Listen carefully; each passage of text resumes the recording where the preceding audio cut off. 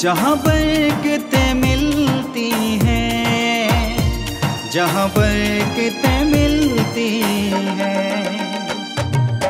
आओ खुदावन के घर चले, जहाँ नेमतें मिलती हैं, जहाँ नेमतें मिलती हैं। आओ खुदावन के घर चले चले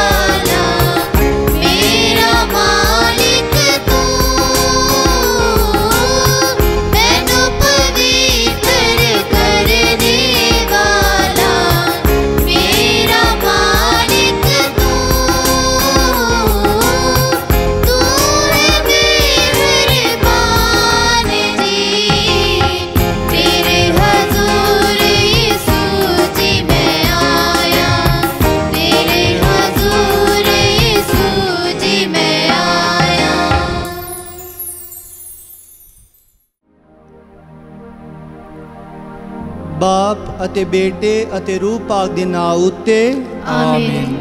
ਸਾਡੇ ਪ੍ਰਭੂ ਯੀਸ਼ੂ ਮਸੀਹ ਦਾ ਫਜ਼ਲ ਖੁਦਾ ਬਾਪ ਦਾ ਪ੍ਰੇਮ ਅਤੇ ਰੂਹ ਪਾਕ ਦੀ ਸਾਂਝ ਤੁਹਾਡੇ ਨਾਲ ਹੋਵੇ ਅਤੇ ਤੁਹਾਡੀ ਰੂਹ ਨਾਲ ਵੀ ਹੋਵੇ।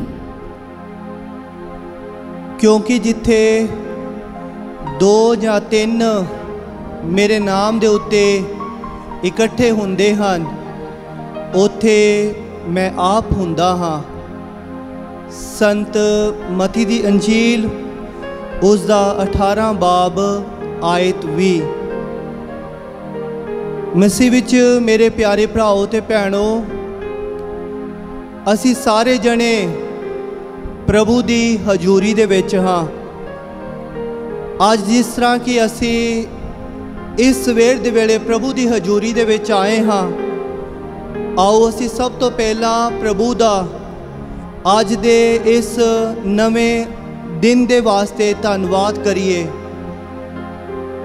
ਪਿਆਰੇ ਭਰਾਓ ਤੇ ਭੈਣੋ, ਬਹੁਤ ਸਾਰੇ ਲੋਕਾਂ ਨੂੰ ਅੱਜ ਦਾ ਇਹ ਦਿਨ ਦੇਖਣ ਦਾ ਮੌਕਾ ਨਹੀਂ ਮਿਲਿਆ, ਪਰ ਪ੍ਰਭੂ ਨੇ ਸਾਨੂੰ ਇਹ ਦਿਨ ਦਿੱਤਾ ਹੈ ਤਾਂ ਜੋ ਅਸੀਂ ਸਾਰੇ ਜਣੇ ਉਹਨਾਂ ਦੀ ਵਡਿਆਈ ਕਰ ਸਕੀਏ, ਉਹਨਾਂ ਦਾ ਧੰਨਵਾਦ ਕਰ ਸਕੀਏ।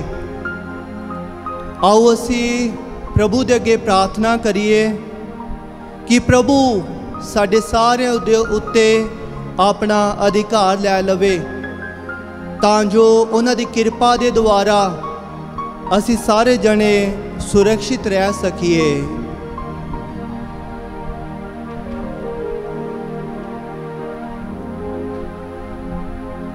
ਭਰਾਓ ਤੇ ਭੈਣੋ ਇਹਨਾਂ ਪਵਿੱਤਰ ਭੇਦਾਂ ਨੂੰ ਯੋਗ ਢੰਗ ਨਾਲ ਮਨਾਉਣ ਲਈ ਆਓ ਅਸੀਂ ਆਪਣੇ ਗੁਨਾਹਾਂ ਨੂੰ ਕਬੂਲ ਕਰੀਏ। ਮੈਂ ਇਕਬਾਲ ਕਰਦਾ ਹਾਂ। ਪੂਰੀ ਕੁਦਰਤ ਵਾਲੇ ਖੁਦਾ ਅਤੇ ਤੁਹਾਡੇ ਅੱਗੇ। ਐ ਭਰਾਓ ਤੇ ਭੈਣੋ ਕਿ ਮੈਂ ਸੋਚਣ ਨਾਲ ਬੋਲਣ ਨਾਲ ਕਰਨ ਨਾਲ ਅਤੇ ਆਪਣੇ ਕਰਤੱਵ ਛੱਡਣ ਨਾਲ। ਬਹੁਤ ਗੁਨਾਹ ਕੀਤੇ। ਆਪਣੇ ਹੀ ਦੋਸ਼ ਦੇ ਨਾਲ। ਆਪਣੇ ਹੀ ਦੋਸ਼ ਦੇ ਨਾਲ ਆਪਣੇ ਬਹੁਤ ਵੱਡੇ ਦੋਸ਼ ਦੇ ਨਾਲ। ਇਸ ਲਈ ਮੈਂ ਤਨ ਸਦਾ ਕੁਆਰੀ ਮਰੀਮ ਸਾਰੇ ਫਰਿਸ਼ਤਿਆਂ ਅਤੇ ਸੰਤਾਂ ਅਤੇ ਤੁਹਾਡੇ ਅੱਗੇ ਐ ਭਰਾਓ ਤੇ ਭੈਣੋ ਮੈਂ ਬੇਨਤੀ ਕਰਦੀ ਹਾਂ ਕਿ ਮੇਰੇ ਲਈ ਪ੍ਰਭੂ ਖੁਦਾ ਦੇ ਅੱਗੇ ਪ੍ਰਾਰਥਨਾ ਕਰੋ। ਪੂਰੀ ਕੁਦਰਤ ਵਾਲਾ ਖੁਦਾ ਸਾਡੇ ਉੱਤੇ ਦਇਆ ਕਰੇ ਅਤੇ ਸਾਡੇ ਗੁਨਾਹਾਂ ਨੂੰ ਮਾਫ ਕਰਕੇ ਸਾਨੂੰ ਸਦੀਵੀ ਜੀਵਨ ਤੱਕ ਪਹੁੰਚਾਵੇ। ਆਮੀਨ। ਐ ਪ੍ਰਭੂ ਦਇਆ ਕਰ। ਐ ਪ੍ਰਭੂ ਦਇਆ ਕਰ। ਐ ਮਸੀਹਾ ਦਇਆ ਕਰ। ਐ ਮਸੀਹਾ ਦਇਆ ਕਰ। ਐ ਪ੍ਰਭੂ ਦਇਆ ਕਰ। ਐ ਪ੍ਰਭੂ ਦਇਆ ਕਰ। ਅਸੀਂ ਪ੍ਰਾਰਥਨਾ ਕਰੀਏ। ਐ ਪੂਰੀ ਕੁਦਰਤ ਵਾਲੇ ਅਤੇ ਅਕਾਲ ਖੁਦਾ ਤੈਨੂੰ ਬਾਪ ਕਹਿ ਕੇ ਪੁਕਾਰਨ ਦਾ ਵਿਸ਼ੇਸ਼ ਅਧਿਕਾਰ ਤੂੰ ਸਾਨੂੰ ਦਿੰਦਾ ਹੈ। ਬਖਸ਼ ਦੇ ਕਿ ਗੋਦ ਲਏ ਗਏ ਧੀਆਂ ਪੁੱਤਰਾਂ ਦੀ ਰੂਹ ਸਾਡੇ ਵਿੱਚ ਵੱਧਦੀ ਜਾਵੇ, ਤਾਂ ਜੋ ਅਸੀਂ ਉਸ ਵਿਰਾਸਤ ਵਿੱਚ ਵੜ ਸਕੀਏ ਜੋ ਤੂੰ ਸਾਡੇ ਲਈ ਵਾਅਦਾ ਕੀਤਾ ਹੈ। ਸਾਡੇ ਪ੍ਰਭੂ ਯੀਸੂ ਮਸੀਹ ਤੇਰੇ ਬੇਟੇ ਦੇ ਰਾਹੀ, ਜੋ ਤੇਰੇ ਨਾਲ ਰੂਹ ਪਾਕ ਦੀ ਏਕਤਾ ਵਿੱਚ ਇੱਕ ਖੁਦਾ ਜਿਉਂਦਾ ਤੇ ਰਾਜ ਕਰਦਾ ਹੈ, ਸਦਾ ਤੋਂ ਸਦਾ ਤੀਕਰ। ਆਮੀਨ।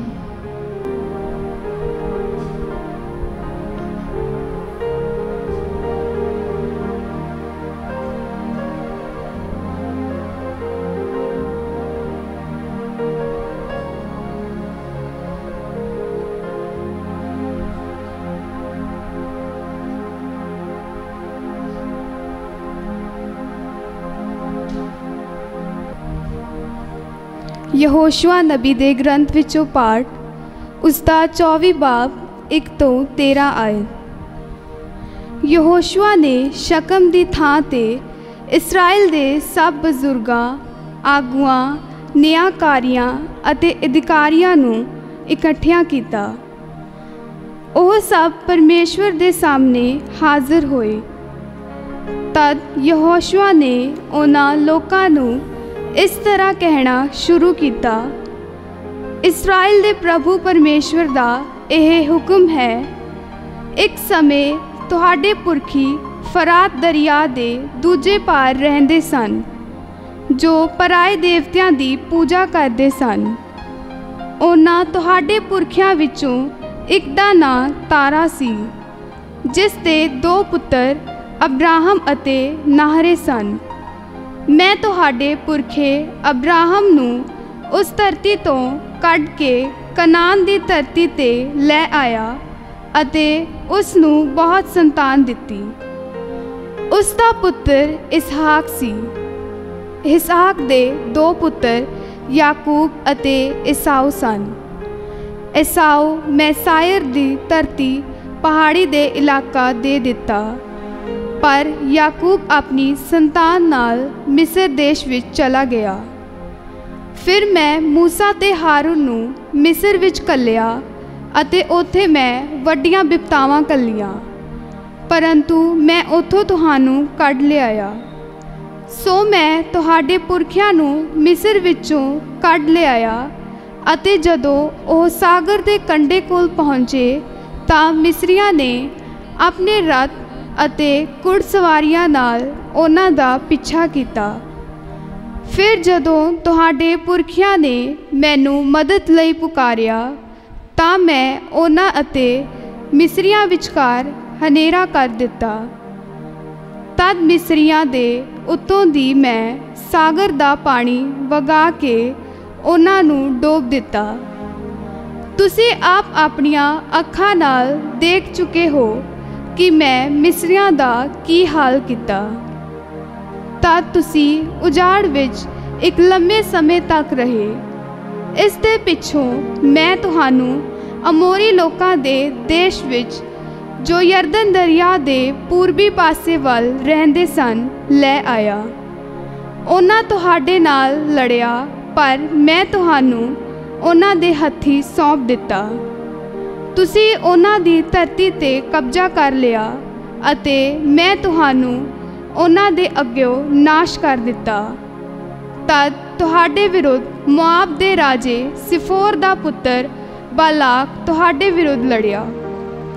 ਉਸ ਨੇ ਬੋਆਰ ਦੇ ਪੁੱਤਰ ਬਿਲਾਮ ਨੂੰ ਤੁਹਾਨੂੰ ਸ਼ਰਾਬ ਦੇਣ ਲਈ ਸੱਦਿਆ। ਪਰ ਮੈਂ ਬਿਲਾਮ ਦੀ ਨਾ ਸੁਣੀ ਅਤੇ ਤੁਹਾਨੂੰ ਆਸ਼ੀਸ਼ ਦਿੱਤੀ। ਇਸ ਤਰ੍ਹਾਂ ਮੈਂ ਬਲਾਕ ਦੇ ਹੱਥੋਂ ਤੁਹਾਨੂੰ ਬਚਾ ਲਿਆ। ਫਿਰ ਵੀ ਤੁਸੀਂ ਯਰਦਨ ਦੇ ਪਾਰ ਯਰੋਹ ਸ਼ਹਿਰ ਕੋਲ ਆ ਗਏ। ਉੱਥੇ ਤੁਹਾਡੇ ਵਿਰੁੱਧ ਇਹਨਾਂ ਕੌਮਾਂ ਦੇ ਲੋਕ ਲੜਨ ਲਈ ਨਿਕਲੇ।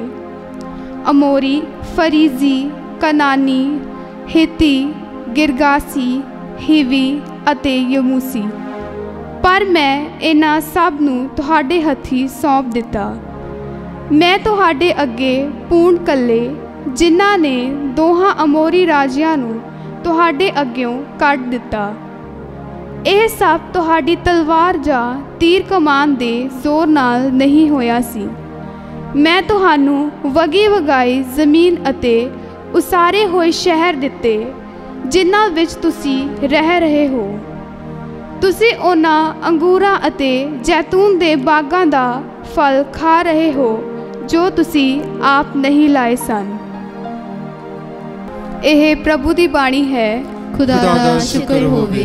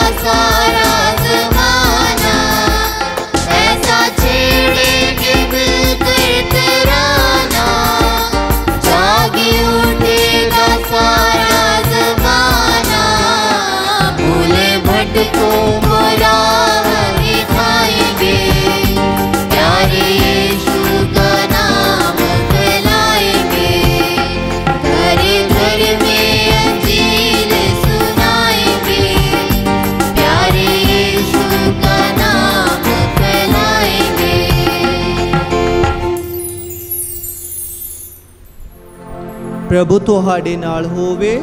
ਅਤੇ ਤੁਹਾਡੀ ਰੂਹ ਨਾਲ ਵੀ ਹੋਵੇ। ਪਾਠ ਪਵਿੱਤਰ ਅੰਜੀਲ ਸੰਤ ਮਤੀ ਦੇ ਅਨੁਸਾਰ ਤੇਰੀ ਵਡਿਆਈ ਹੋਵੇ। ਹੈ। ਰੱਬਾ।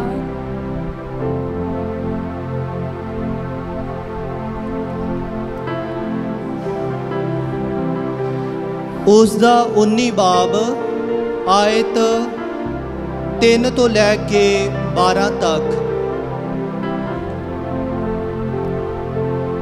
ਫਿਰ ਫਰੀਸੀ ਉਸ ਦੇ ਕੋਲ ਆਏ ਅਤੇ ਇਹ ਪੁੱਛਦੇ ਹੋਏ ਉਸ ਦੀ ਪ੍ਰੀਖਿਆ ਲਈ ਕਿ ਕਿਸੇ ਵੀ ਬਹਾਨੇ ਆਪਣੀ ਪਤਨੀ ਨੂੰ ਤਲਾਕ ਦੇਣਾ ਜਾਇਜ਼ ਹੈ। ਉਸ ਨੇ ਉੱਤਰ ਦਿੱਤਾ ਕਿ ਤੁਸੀਂ ਇਹ ਨਹੀਂ ਪੜਿਆ ਕਿ ਜਿਸ ਨੇ ਉਹਨਾਂ ਨੂੰ ਬਣਾਇਆ ਉਸ ਨੇ ਆਦੀ ਤੋਂ ਉਹਨਾਂ ਨੂੰ ਨਰ ਅਤੇ ਨਾਰੀ ਬਣਾਇਆ। ਅਤੇ ਕਿਹਾ, ਇਸ ਕਾਰਨ ਮਨੁੱਖ ਆਪਣੇ ਮਾਤਾ-ਪਿਤਾ ਨੂੰ ਛੱਡੇਗਾ ਅਤੇ ਆਪਣੀ ਪਤਨੀ ਨਾਲ ਜੁੜਿਆ ਰਹੇਗਾ ਅਤੇ ਉਹ ਦੋਵੇਂ ਇੱਕ ਤਨ ਹੋਣਗੇ। ਇਸ ਲਈ ਹੁਣ ਉਹ ਦੋ ਨਹੀਂ, ਸਗੋਂ ਇੱਕ ਹਨ। ਇਸ ਲਈ ਜਿਨ੍ਹਾਂ ਨੂੰ ਖੁਦਾ ਨੇ ਜੋੜਿਆ ਹੈ, ਉਹਨਾਂ ਨੂੰ ਮਨੁੱਖ ਵੱਖ ਨਾ ਕਰੇ। ਉਹਨਾਂ ਨੇ ਉਸ ਨੂੰ ਕਿਹਾ, ਫਿਰ ਮੂਸਾ ਨੇ ਕਿਉਂ ਆਗਿਆ ਦਿੱਤੀ ਹੈ ਕਿ ਤਲਾਕਨਾਮਾ ਦੇਵੇ ਅਤੇ ਪਤਨੀ ਨੂੰ ਛੱਡ ਦੇਵੇ? ਉਸ ਨੇ ਉਹਨਾਂ ਨੂੰ ਕਿਹਾ, ਤੁਹਾਡੇ ਦਿਲਾਂ ਦੀ ਕਠੋਰਤਾ ਦੇ ਕਾਰਨ ਮੂਸਾ ਨੇ ਤੁਹਾਨੂੰ ਤੁਹਾਡੀ ਪਤਨੀ ਨੂੰ ਤਲਾਕਨਾਮਾ ਦੇ ਕੇ ਛੱਡਣ ਦੀ ਤੁਹਾਨੂੰ ਮਨਜ਼ੂਰੀ ਦਿੱਤੀ। ਪਰ ਸ਼ੁਰੂ ਤੋਂ ਇਸ ਤਰ੍ਹਾਂ ਨਹੀਂ ਸੀ। ਅਤੇ ਮੈਂ ਤੁਹਾਨੂੰ ਕਹਿੰਦਾ ਹਾਂ, ਜੋ ਕੋਈ ਆਪਣੀ ਪਤਨੀ ਨੂੰ ਵਿਵਚਾਰ ਤੋਂ ਇਲਾਵਾ ਹੋਰ ਕਿਸੇ ਵਜ੍ਹਾ ਨਾਲ ਤਲਾਕ ਦਿੰਦਾ ਹੈ, ਉਹ ਉਸ ਨੂੰ ਵਿਵਚਾਰਨੀ ਬਣਾਉਂਦਾ ਹੈ ਅਤੇ ਜੋ ਦੂਜੀ ਔਰਤ ਨਾਲ ਵਿਆਹ ਕਰਦਾ ਹੈ, ਉਹ ਵਿਵਚਾਰ ਕਰਦਾ ਹੈ ਅਤੇ ਜੋ ਇੱਕ ਤਲਾਕ ਦਿੱਤੀ ਹੋਈ ਔਰਤ ਨਾਲ ਵਿਆਹ ਕਰਦਾ ਹੈ, ਉਹ ਵਿਵਚਾਰ ਕਰਦਾ ਹੈ। ਚੇਲਿਆਂ ਨੇ ਉਸ ਨੂੰ ਕਿਹਾ, ਜੇਕਰ ਆਦਮੀ ਦਾ ਆਪਣੀ ਪਤਨੀ ਨਾਲ ਇੰਜ ਦਾ ਸੰਬੰਧ ਹੈ, ਤਾਂ ਫਿਰ ਵਿਆਹ ਨਾ ਕਰਨਾ ਹੀ ਚੰਗਾ ਹੈ। ਪਰ ਉਸਨੇ ਉਹਨਾਂ ਨੂੰ ਕਿਹਾ, ਸਭ ਮਨੁੱਖ ਇਹ ਹਦਾਇਤ ਸਵੀਕਾਰ ਨਹੀਂ ਕਰ ਸਕਦੇ। ਸਗੋਂ ਉਹੀ ਜਿਨ੍ਹਾਂ ਨੂੰ ਇਹ ਬਖਸ਼ ਦਿੱਤੀ ਗਈ ਹੈ। ਕਿਉਂਕਿ ਕੁਝ ਹਿਜੜੇ ਹੁੰਦੇ ਹਨ, ਜੋ ਜਨਮ ਤੋਂ ਹੀ ਇਸ ਤਰ੍ਹਾਂ ਦੇ ਹਨ। ਕੁਝ ਮਨੁੱਖਾਂ ਵੱਲੋਂ ਹਿਜੜੇ ਬਣਾਏ ਜਾਂਦੇ ਹਨ ਅਤੇ ਕੁਝ ਲੋਕ ਸਵਰਗ ਰਾਜ ਦੀ ਖਾਤਰ ਆਪਣੇ ਆਪ ਨੂੰ ਹਿਜੜਾ ਬਣਾ ਲੈਂਦੇ ਹਨ। ਜੋ ਇਸ ਨੂੰ ਸਵੀਕਾਰ ਕਰ ਸਕਦਾ ਹੈ, ਸੋ ਇਸ ਨੂੰ ਸਵੀਕਾਰ ਕਰੇ।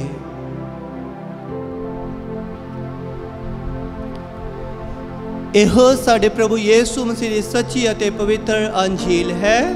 ਤੇਰੀ ਮਹਿਮਾ ਹੋਵੇ, ਐ ਮਸੀਹਾ।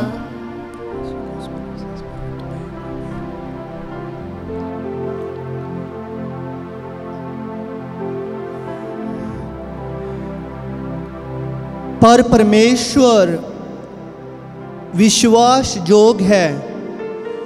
ਉਹ ਤੁਹਾਨੂੰ ਬਲ ਦੇਵੇਗਾ ਅਤੇ ਤੁਹਾਡੀ ਦੁਸ਼ਟ ਤੋਂ ਰੱਖਿਆ ਵੀ ਕਰੇਗਾ। ਸੰਤ ਪੌਲਸ ਦਾ ਥੈਸਲੋਨੀਕੀਆਂ ਦੇ ਨਾਮ ਦੂਸਰਾ ਪੱਤਰ, ਉਸ ਦਾ 3 ਬਾਬ, ਆਇਤ 3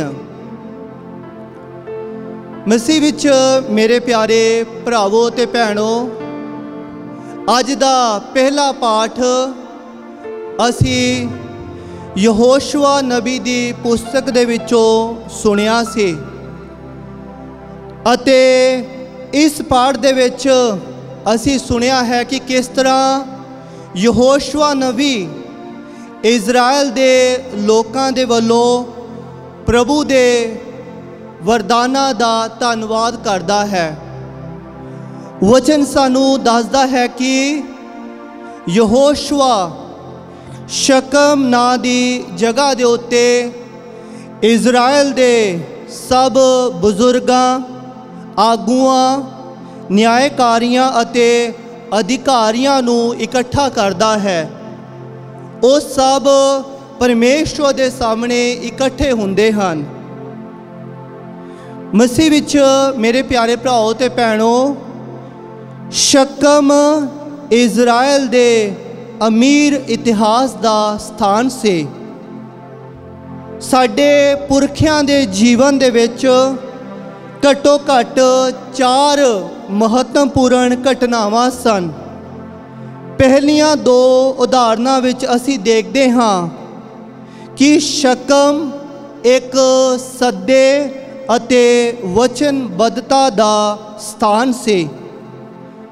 ਦੂਜੀਆਂ ਦੋ ਵਿੱਚ ਅਸੀਂ ਦੇਖਦੇ ਹਾਂ ਕਿ ਸ਼ਕਮ, ਸ਼ਰਮ ਦੀ ਜਗ੍ਹਾ ਸੀ। ਮੇਰੇ ਪਿਆਰੇ ਭਰਾਓ ਤੇ ਭੈਣੋ, ਅੱਜ ਦੇ ਇਸ ਪਾਠ ਦੇ ਵਿੱਚ ਯਹੋਸ਼ਵਾ ਇਜ਼ਰਾਈਲ ਦੇ ਲੋਕਾਂ ਨੂੰ ਪ੍ਰਭੂ ਦੀ ਵਫਾਦਾਰੀ ਦੇ ਬਾਰੇ ਦੱਸਦਾ ਹੈ। ਇਜ਼ਰਾਈਲ ਦੇ ਲੋਕ ਆਪਣੇ ਜੀਵਨ ਦੇ ਵਿੱਚ ਵਫਾਦਾਰ ਨਹੀਂ ਰਹੇ ਸਨ। ਪਰ ਯਹੋਸ਼ੂਆ ਨਬੀ ਉਹਨਾਂ ਨੂੰ ਯਾਦ ਦਿਲਾਉਂਦਾ ਹੈ ਕਿ ਪ੍ਰਭੂ ਉਹਨਾਂ ਦੇ ਜੀਵਨ ਦੇ ਵਿੱਚ ਹਮੇਸ਼ਾ ਵਫਾਦਾਰ ਰਹੇ। ਸਾਡਾ ਪ੍ਰਭੂ ਸਾਨੂੰ ਬਹੁਤ ਪਿਆਰ ਕਰਦਾ ਹੈ। ਜਿਸ ਤਰ੍ਹਾਂ ਸਾਡਾ ਪ੍ਰਭੂ ਸਾਨੂੰ ਬਹੁਤ ਪਿਆਰ ਕਰਦਾ ਹੈ, ਪਿਆਰੇ ਭਰਾਓ ਤੇ ਭੈਣੋ, ਉਸੇ ਤਰ੍ਹਾਂ ਪ੍ਰਭੂ ਨੇ ਇਜ਼ਰਾਈਲ ਦੇ ਲੋਕਾਂ ਨੂੰ ਵੀ ਬਹੁਤ ਪਿਆਰ ਕੀਤਾ। ਪ੍ਰਭੂ ਨੇ ਉਹਨਾਂ ਨੂੰ ਛੱਡਿਆ ਨਹੀਂ। ਜਦੋਂ ਉਹ ਮਿਸਰ ਦੀ ਗੁਲਾਮੀ ਦੇ ਵਿੱਚ ਸਨ, ਉਹਨਾਂ ਨੇ ਪ੍ਰਭੂ ਨੂੰ ਪੁਕਾਰਿਆ, ਰੋ ਕੇ ਪ੍ਰਭੂ ਦੇ ਅੱਗੇ ਪ੍ਰਾਰਥਨਾ ਕੀਤੀ। ਤਾਂ ਪਿਆਰੇ ਭਰਾਓ ਤੇ ਭੈਣੋ, ਪ੍ਰਭੂ ਨੇ ਮੂਸਾ ਨਬੀ ਦੇ ਰਾਹੀ ਇਜ਼ਰਾਈਲ ਦੇ ਲੋਕਾਂ ਨੂੰ ਉਹਨਾਂ ਦੀ ਗੁਲਾਮੀ ਤੋਂ ਛੁਡਾਇਆ ਸੀ। ਯਹੋਸ਼ੂਆ ਨਬੀ ਦੇ ਦੁਆਰਾ ਪ੍ਰਭੂ ਇਜ਼ਰਾਈਲ ਦੇ ਲੋਕਾਂ ਨੂੰ ਇਹ ਯਾਦ ਦਿਲਾਉਂਦਾ ਹੈ ਕਿ ਇੱਕ ਸਮੇਂ ਤੁਹਾਡੇ ਪੁਰਖੇ ਫਰਾਤ ਦਰਿਆ ਦੇ ਦੂਜੇ ਪਾਰ ਰਹਿੰਦੇ ਸਨ ਅਤੇ ਜਦੋਂ ਉਹ ਉੱਥੇ ਰਹਿੰਦੇ ਸਨ, ਤਾਂ ਪਿਆਰੇ ਭਰਾਓ ਤੇ ਭੈਣੋ, ਉਹਨਾਂ ਨੇ ਪਰਾਏ ਦੇਵਤਿਆਂ ਦੀ ਪੂਜਾ ਕੀਤੀ ਸੀ, ਉਹ ਪਰਾਏ ਦੇਵਤਿਆਂ ਦੀ ਪੂਜਾ ਕਰਦੇ ਹੁੰਦੇ ਸਨ। ਫਿਰ ਭਰਾਓ ਤੇ ਭੈਣੋ, ਵਿਆਹ ਇੱਕ ਪਵਿੱਤਰ ਸੈਕਰਾਮੈਂਟ ਹੈ।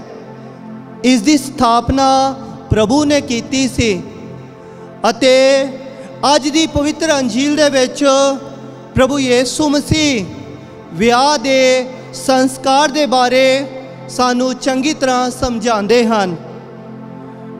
ਪਵਿੱਤਰ ਅੰਜੀਲ ਦੇ ਵਿੱਚ ਜਦੋਂ ਕੁਝ ਫਰੀਸੀ ਉਹਨਾਂ ਦੀ ਪ੍ਰੀਖਿਆ ਲੈਂਦੇ ਹਨ ਅਤੇ ਉਹਨਾਂ ਤੋਂ ਪੁੱਛਦੇ ਹਨ ਕਿ ਕਿਸੇ ਆਦਮੀ ਨੂੰ ਆਪਣੀ ਔਰਤ ਨੂੰ ਕਿਸੇ ਕਾਰਨ ਤਲਾਕ ਦੇਣਾ ਚਾਹੀਦਾ ਹੈ, ਤਾਂ ਪਿਆਰੇ ਭਰਾਓ ਤੇ ਭੈਣੋ, ਪ੍ਰਭੂ ਯੀਸੂ ਮਸੀਹ ਉਹਨਾਂ ਨੂੰ ਸਮਝਾਉਂਦੇ ਹਨ ਕਿ ਆਦਿ ਤੋਂ ਇਸ ਤਰ੍ਹਾਂ ਨਹੀਂ ਸੀ ਪਿਤਾ ਪਰਮੇਸ਼ਵਰ ਨੇ ਨਰ ਅਤੇ ਨਾਰੀ ਨੂੰ ਬਣਾਇਆ ਅਤੇ ਪਿਆਰੇ ਭਰਾਓ ਤੇ ਭੈਣੋ ਉਹ ਇਹ ਦੋ ਨਹੀਂ ਬਲਕਿ ਇੱਕ ਸਨ ਇਸ ਲਈ ਪ੍ਰਭੂ ਯੀਸੂ ਮਸੀਹ ਉਹਨਾਂ ਨੂੰ ਕਹਿੰਦੇ ਹਨ ਕਿ ਜਿਨ੍ਹਾਂ ਨੂੰ ਪਰਮੇਸ਼ਵਰ ਨੇ ਜੋੜਿਆ ਹੈ ਉਹਨਾਂ ਨੂੰ ਕੋਈ ਵੀ ਵੱਖ ਨਾ ਕਰੇ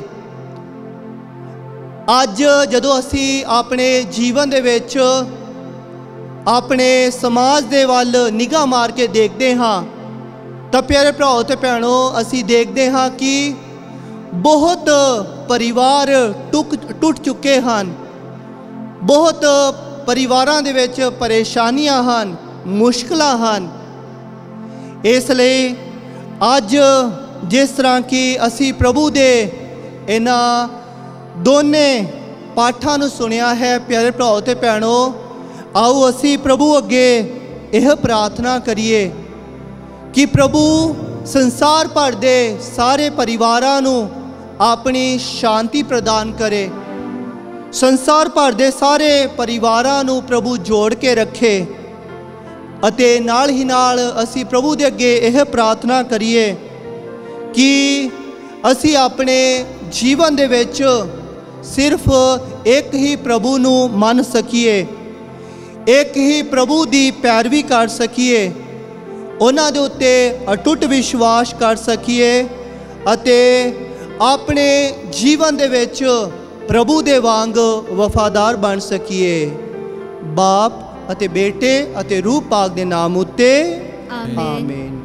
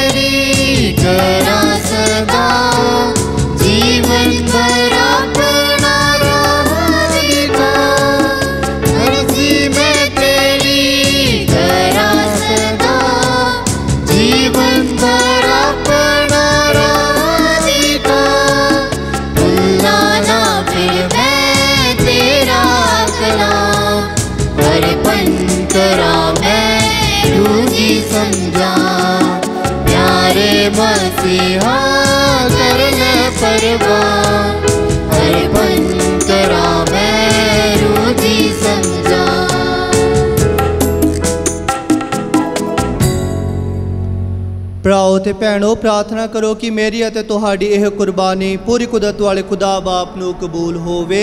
ਰੱਬ ਇਸ ਕੁਰਬਾਨੀ ਨੂੰ ਤੁਹਾਡੇ ਹੱਥਾਂ ਦੇ ਵਿੱਚੋਂ ਆਪਣੇ ਨਾਮ ਦੀ ਉਸਤਤ ਤੇ ਵਡਿਆਈ ਲਈ ਨਾਲੇ ਸਾਡੇ ਤੇ ਸਾਰੀ ਪਵਿੱਤਰ ਕਲੀਸਿਆ ਦੇ ਲਾਭ ਲਈ ਕਬੂਲ ਕਰੇ।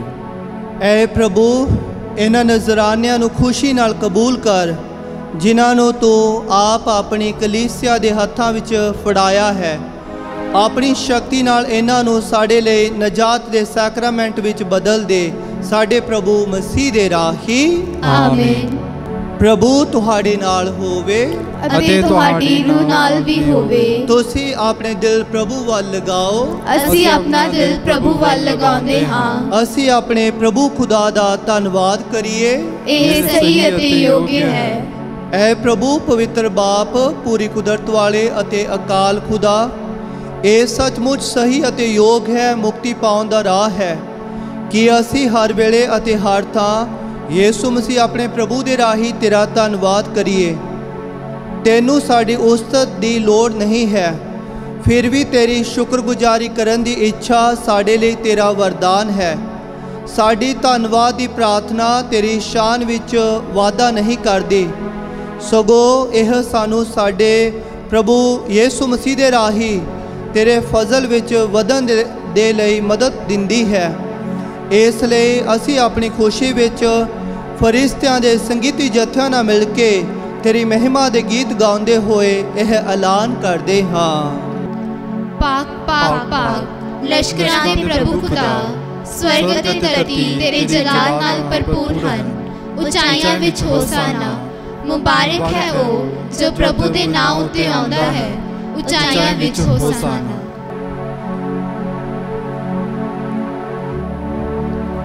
ਐ ਪ੍ਰਭੂ ਤੂੰ ਸੱਚਮੁੱਚ ਪਾਕ ਹੈ ਅਤੇ ਸਭ ਪਵਿੱਤਰਤਾ ਦਾ ਸੋਮਾ ਹੈ। ਇਸ ਲਈ ਅਸੀਂ ਬੇਨਤੀ ਕਰਦੇ ਹਾਂ ਕਿ ਜਿਸ ਤਰ੍ਹਾਂ ਤਰੇਲ ਪੈਂਦੀ ਹੈ ਉਸੇ ਤਰ੍ਹਾਂ ਤੂੰ ਆਪਣੇ ਰੂਹ ਪਾਕ ਨੂੰ ਭੇਜ ਕੇ ਇਹਨਾਂ ਨਜ਼ਰਾਨਿਆਂ ਨੂੰ ਪਵਿੱਤਰ ਕਰ ਤਾਂ ਜੋ ਇਹ ਸਾਡੇ ਲਈ ਸਾਡੇ ਪ੍ਰਭੂ ਯੀਸੂ ਮਸੀਹ ਦਾ ਬਦਨ ਅਤੇ ਲਹੂ ਬਣ ਜਾਵੇ। ਉਸਨੇ ਆਪਣੀ ਮਰਜ਼ੀ ਨਾਲ ਆਪਣੇ ਆਪ ਨੂੰ ਦੁੱਖ ਤਸੀਹਾਂ ਦੇ ਲਈ ਸੌਂਪਦੇ ਹੋਏ ਰੋਟੀ ਲਈ ਧੰਨਵਾਦ ਕਰਦਿਆਂ ਰੋਟੀ ਤੋੜੀ ਅਤੇ ਆਪਣੇ ਚੇਲਿਆਂ ਨੂੰ ਦਿੱਤੀ। ਇਹ ਕਹਿੰਦੇ ਹੋਏ, ਤੁਸੀਂ ਸਾਰੇ ਇਹ ਲਓ ਅਤੇ ਇਸ ਵਿੱਚੋਂ ਖਾਓ, ਕਿਉਂ ਜੋ ਇਹ ਮੇਰਾ ਬਦਨ ਹੈ, ਜਿਹੜਾ ਤੁਹਾਡੇ ਲਈ ਕੁਰਬਾਨ ਕੀਤਾ ਜਾਵੇਗਾ?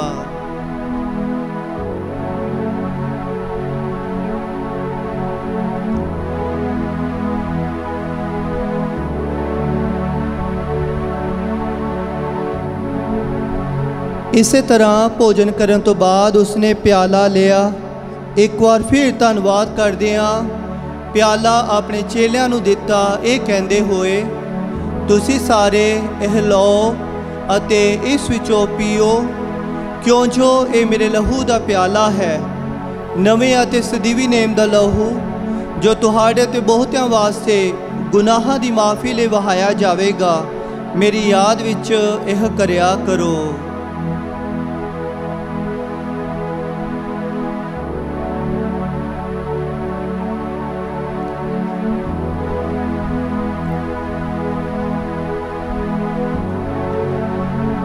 ਈਮਾਨ ਦਾ ਭੇਦ ਮਸੀਹ ਮਰ ਗਿਆ ਮਸੀਹ ਜੀ ਉੱਠਿਆ ਮਸੀਹ ਵੱਡੀ ਸ਼ਾਨ ਨਾਲ ਫਿਰ ਆਵੇਗਾ ਐ ਪ੍ਰਭੂ ਅਸੀਂ ਯੀਸ਼ੂ ਮਸੀਹ ਦੀ ਮੌਤ ਅਤੇ ਉਸ ਦੇ ਜੀ ਉੱਠਣ ਦੀ ਯਾਦਗਾਰੀ ਨੂੰ ਮਨਾਉਂਦੇ ਹੋਏ ਤੈਨੂੰ ਜੀਵਨ ਦੀ ਰੋਟੀ ਅਤੇ ਮੁਕਤੀ ਦਾ ਪਿਆਲਾ ਚੜਾਉਂਦੇ ਹਾਂ। ਅਸੀਂ ਤੇਰਾ ਧੰਨਵਾਦ ਕਰਦੇ ਹਾਂ ਕਿਉਂ ਜੋ ਤੂੰ ਸਾਨੂੰ ਇਸ ਯੋਗ ਠਹਿਰਾਇਆ ਕਿ ਅਸੀਂ ਤੇਰੀ ਹਜ਼ੂਰੀ ਵਿੱਚ ਦਾਖਲ ਹੋ ਕੇ ਤੇਰੀ ਸੇਵਾ ਕਰੀਏ। ਅਸੀਂ ਹਲੀਮੀ ਨਾਲ ਦੁਆ ਕਰਦੇ ਹਾਂ ਕਿ ਮਸੀਹ ਦੇ ਬਦਨ ਅਤੇ ਲਹੂ ਵਿੱਚ ਹਿੱਸਾ ਲੈਣ ਦੁਆਰਾ ਅਸੀਂ ਰੂਹ ਪਾਕ ਦੇ ਰਾਹੀ ਏਕਤਾ ਵਿੱਚ ਬੱਝੇ ਰਹੀਏ। ਐ ਪ੍ਰਭੂ, ਸਾਰੀ ਧਰਤੀ ਉਤੇ ਫੈਲੀ ਹੋਈ ਆਪਣੀ ਕਲੀਸਿਆ ਨੂੰ ਯਾਦ ਕਰ ਅਤੇ ਉਸ ਨੂੰ ਸਾਡੇ ਸੰਤ ਪਾਪਾ ਫਰਾਂਸਿਸ, ਸਾਡੇ ਬਿਸ਼ਪ ਇਗਨੇਸ਼ੀਅਸ ਅਤੇ ਸਾਰੇ ਪ੍ਰੋਹਿਤਾਂ ਨਾਲ ਪਿਆਰ ਦੀ ਸੰਪੂਰਨਤਾ ਵਿੱਚ ਕਾਇਮ ਰੱਖ। ਸਾਡੇ ਭੈਣ ਭਰਾਵਾਂ ਨੂੰ ਵੀ ਯਾਦ ਕਰ ਜਿਹੜੇ ਜੀ ਉਠਣ ਦੀ ਉਮੀਦ ਨਾਲ ਸੋ ਗਏ ਹਨ ਅਤੇ ਉਹਨਾਂ ਸਾਰਿਆਂ ਨੂੰ ਵੀ ਜੋ ਤੇਰੇ ਰਹਿਮ ਵਿੱਚ ਮਰ ਗਏ ਹਨ, ਇਹਨਾਂ ਦਾ ਤੂੰ ਆਪਣੀ ਹਜ਼ੂਰੀ ਦੇ ਚਾਨਣ ਵਿੱਚ ਸਵਾਗਤ ਕਰ।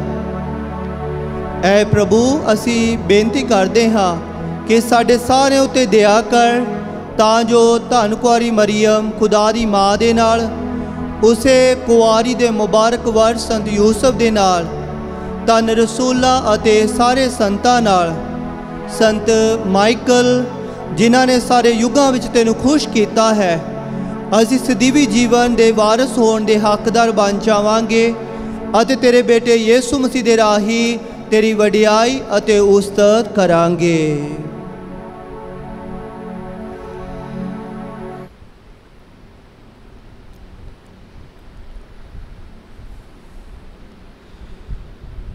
ਉਸ ਦੇ ਰਾਹੀਂ ਅਤੇ ਉਸ ਦੇ ਨਾਲ ਅਤੇ ਉਸ ਦੇ ਵਿੱਚ ਐ ਖੁਦਾ ਪੂਰੀ ਕੁਦਰਤ ਵਾਲੇ ਬਾਪ ਰੂਪਾਕ ਦੀ ਏਕਤਾ ਵਿੱਚ ਸਭ ਜਲਾਲ ਅਤੇ ਵਡਿਆਈ ਤੇਰੀ ਹੀ ਹੈ ਸਦਾ ਤੋਂ ਸਦਾ ਤੀਕ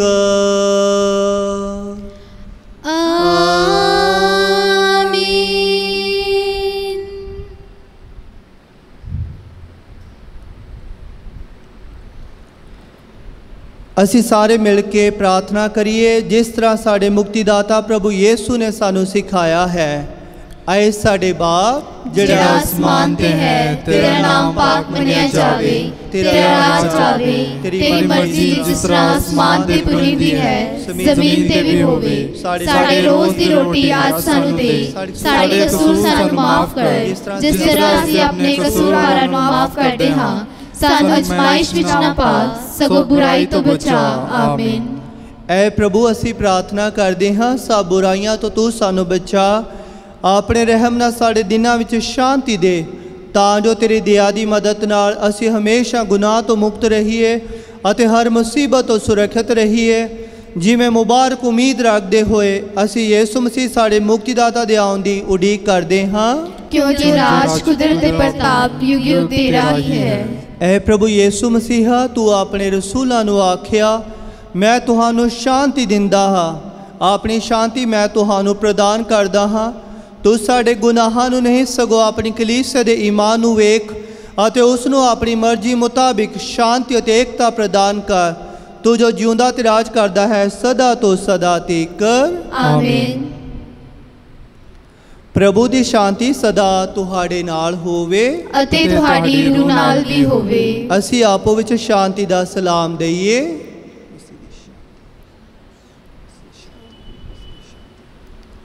ਐ ਲੀਲੇ ਖੁਦਾ ਦੇ ਜਿਹੜਾ ਦੁਨੀਆ ਦੇ ਪਾਪ ਚੁੱਕ ਲੈਂਦਾ ਹੈ ਸਾਡੇ ਉੱਤੇ ਦਇਆ ਕਰ।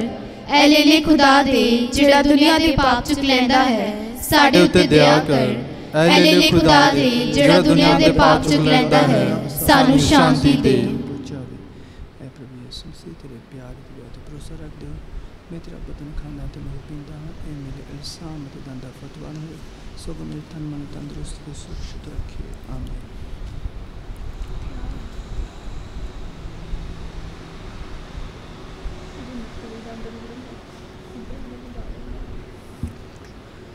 ਦੇਖੋ ਖੁਦਾ ਦਾ ਲੇਲਾ ਇਹਨੂੰ ਵੇਖੋ ਪ੍ਰਭੂ ਯੀਸੂ ਮਸੀਹ ਜਿਹੜਾ ਸੰਸਾਰ ਦੇ ਗੁਨਾਹ ਚੁੱਕ ਲੈਂਦਾ ਹੈ ਧੰਨ ਹਨ ਉਹ ਜਿਹੜੇ ਲੇਲੇ ਦੇ ਭੋਜ ਲਈ ਸੱਦੇ ਗਏ ਹਨ ਐ ਰੱਬਾ ਮੈਂ ਇਸ ਯੋਗ ਨਹੀਂ ਹਾਂ ਕਿ ਤੂੰ ਮੇਰੀ ਛੱਤ ਥੱਲੇ ਆਵੇਂ ਪਰ ਇੱਕ ਸ਼ਬਦ ਕਹਿ ਤਾਂ ਮੇਰੀ ਰੂਹ ਚੰਗੀ ਹੋ ਜਾਵੇਗੀ ਮਸੀਹ ਦਾ ਬਦਨ ਸਦੀ ਵਿੱਚ ਮੈਨੂੰ ਸੰਭਾਲੀ